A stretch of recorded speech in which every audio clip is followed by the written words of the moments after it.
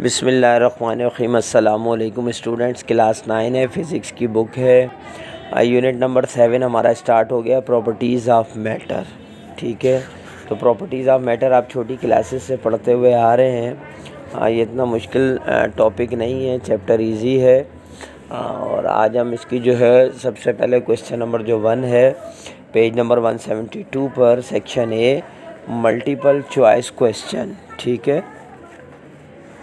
इसका पहला जो एम है an object with particles close together and vibrating describes आ तो देखें आ, कौन सा वो ऑब्जेक्ट है जिसके अंदर उसके पार्टिकल्स जो हैं वो बिल्कुल साथ साथ होते हैं। तो ये आपने पहले भी पढ़ रखा होगा सॉलिड जो है ये ऐसा मैटर ऑफ़ स्टेट है कि जिसके पार्टिकल्स बहुत करीब क्लोज क्लोज होते हैं। और कभी मतलब इसमें जो वाइब्रेटिंग डिस्क्राइब है ना, ये इतनी आम नहीं है। अमूमन, यानी यूजली वाइब्रेटिंग डिस्क्राइब भी है। तो इसका जो ऑप्शन है वो सी जो सॉलिड है, वो इसका सही आंसर है। सेकंड है a burning candle is an example of dash state of matter देखें, एक जलती हुई मोमबत्ती जो है वो क्या स्टेट ऑफ़ मैटर है? देखें, अब इसमें समझें कि जो मोमबत्ती जल रही है, वो मेल्ट भी हो रही है, ठीक है? लिक्विड पानी बनता है, आप देखते हैं, गिरता है नीचे पानी। और उसमें से ज़ाहिर है, जलने की वजह से जो उसमें से गैस, यानी उड़, धुएँ की शक्ल में जो उड़ रही है, वो गैस है। और जो मेल्ट होके नीचे गिरता है, वो भी सॉलिड हो जाता है, और जो रिमेनिंग कैंडल मौजूद है, जो अभी जली नहीं, वो भी सॉलिड हालत में है। तो यानी इसमें तीनों स्टेट्स मौजूद हैं। बात समझ में आ रही है? गैस भी लिक्विड भी और सॉलिड भी। तो इस वजह से इसको ऑल थ्री जो इसका आंसर है, ये तीनों स्टेट्स उसमें मौजूद हैं। थर्ड है during which process a gas becomes a liquid ठीक है? वो कौन सा प्रोसेस है जिसमें गैस जो दोबारा पानी बन जाता है? ठीक है तो आपको मालूम है, जब हम पानी बॉयल करते हैं तो आपने देखा होगा कि वेपरेशन जो है, आबी बखरात जो है, वो बनकर उठते हैं और दोबारा कंडेंस होकर, यानी ठंडे होकर दोबारा पानी की शक्ल, यानी अगर आप कोई पतीली में पानी बॉयल करने के लिए रखें और उसके ऊपर उसका ढक्कन भी रख दें तो आप जब ढक्कन उठाएँगे तो ढक्कन के साथ पानी आपको नज़र आएगा। क्यों? वो जो गैस बनकर पानी ऊपर उठता रहा अभी बखरात बनकर, वो चूँकि ढक्कन होने की वजह से उड़ नहीं सके तो वो उस कवर के ऊपर जाकर वो दोबारा ठंडे हो गए। तो ठंडे हो गए वो क्या हुए? कंडेंसिंग बोलते हैं उसको। तो वो दोबारा पानी की शक्ल में आ गए तो गैस किसमें हो गया? लिक्विड में कन्वर्ट हो गया। फोर है a solid can. Have a fix shape be easily compress take a shape of container have freely moving molecules नहीं, सिर्फ़ वन जो है हैव अ फिक्स शेप तो सॉलिड की क्या हो सकती है? Have a fix shape five है according to kinetic molecular theory the pressure exerted by gas is caused by the देखें काइनेटिक मोलिकुलर थ्योरी के मुताबिक जो प्रेशर बनता है, गैस से, वो किस वजह से बनता है? ठीक है? तो इसके ऑप्शन जो हैं नीचे लिखे हुए हैं, सबसे पहला ऑप्शन इसका आंसर है बम्बार्टमेंट जिस तरह फायरिंग की जाती है ना, यानी हमला bombardment of the gas molecules on the walls of the container अब वो, आपको पता है गैस जो है, जब किसी कंटेनर में उसको फिल किया जाता है तो वो जो प्रेशर होता है, वो जो उस कंटेनर की दीवारें हैं, उस पर बम्बार्टमेंट करते हैं, ज़ोर मारते हैं, ठीक है?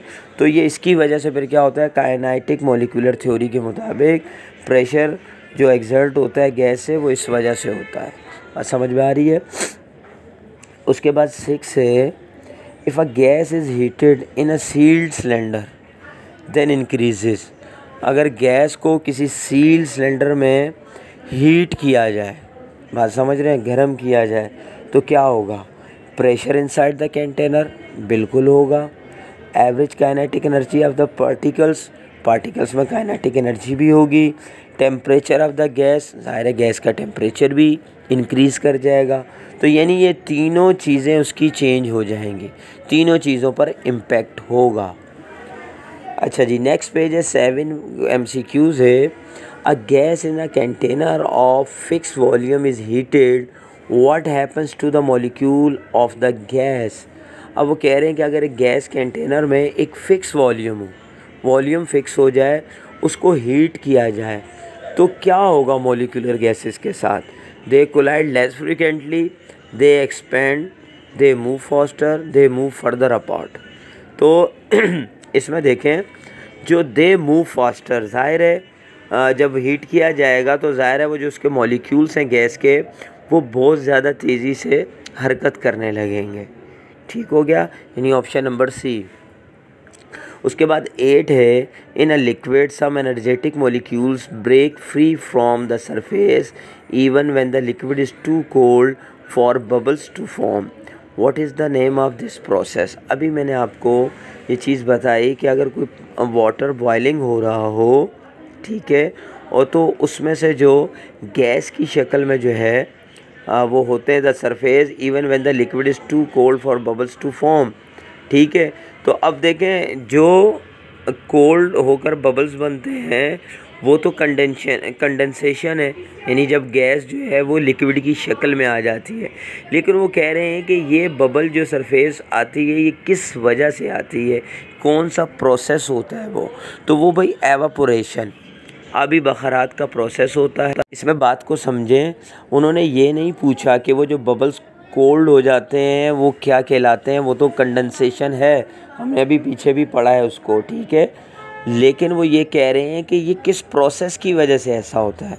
तो भाई, अब इसमें देखें बॉइलिंग बॉइलिंग भी वो प्रोसेस तो है कि बॉइलिंग अगर किसी चीज़, पानी लिक्विड को बॉयल किया जाएगा तो ऐसा होता है.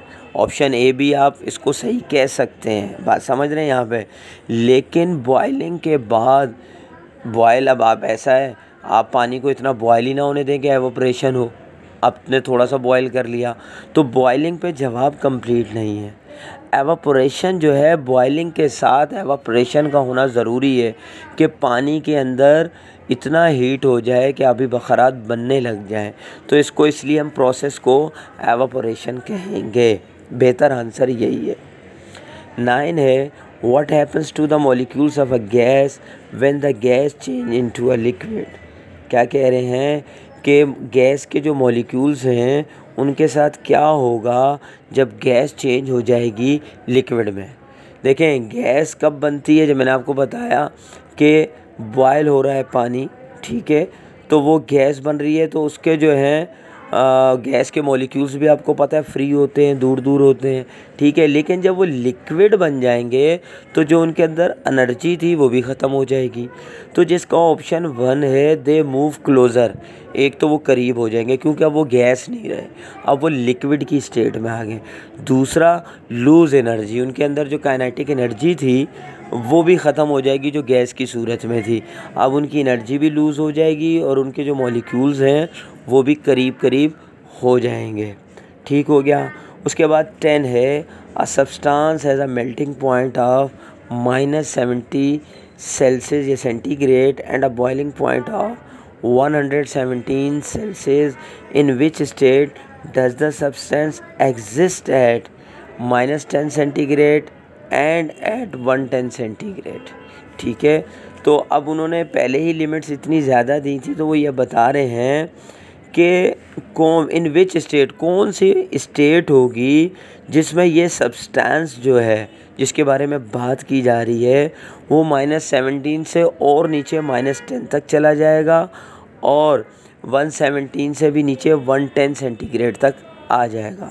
तो कौन सी स्टेट है? तो नीचे स्टेट दी हुई थी ए बी सी डी तो इसमें जो सी ऑप्शन है लिक्विड लिक्विड ये जो ऑप्शन है, ये इसका सही आंसर है कि लिक्विड जो है, वो माइनस टेन सेंटीग्रेड रेट भी जा सकता है और वन सेवनटीन की जगह वन टेन सेंटीग्रेड पर भी आ सकता है। तो इसका ऑप्शन नंबर सी ठीक है। तो ये आज एम की सिर्फ़ मैंने जो है ये वीडियो अपलोड किया इंशाल्लाह बहुत जल्द। नेक्स्ट इसकी एक्सरसाइज की भी वीडियो अपलोड कर दूँगा। अच्छा इसमें एक चीज़ देखें कि बच्चों को कुछ प्रॉब्लम्स हो रही हैं, कुछ वीडियोस उनको नहीं मिल पाती। तो अब आप जो है मेरी वीडियो के एंड पर, जब एंड होने लगेगा तो आपको मेरी उस वीडियो से मुतलक जो प्ले है फ़िज़िक्स है केमिस्ट्री है मैथ है पीएसटी है जो भी होगी प्लेलिस्ट वो आपको मिल जाएगी। आप उस पर क्लिक कर लीजिएगा आप प्लेलिस्ट में चले जाइएगा। वहाँ से अपनी जो भी आपको आ, मेरी उस केमिस्ट्री से रिलेटेड सब्जेक्ट से रिलेटेड वीडियो नहीं मिल रही वो आपको आसानी से मिल जाएगी। तो लिहाजा वीडियो के एंड में ज़रूर जाइएगा आपको एंड स्क्रीन पर वो वीडियो प्लेलिस्ट ज़रूर नज़र आएगी। इंशाल्लाह नेक्स्ट वीडियो में मिलते हैं जब तक के लिए इजाज़त दीजिए अल्लाह हाफिज़।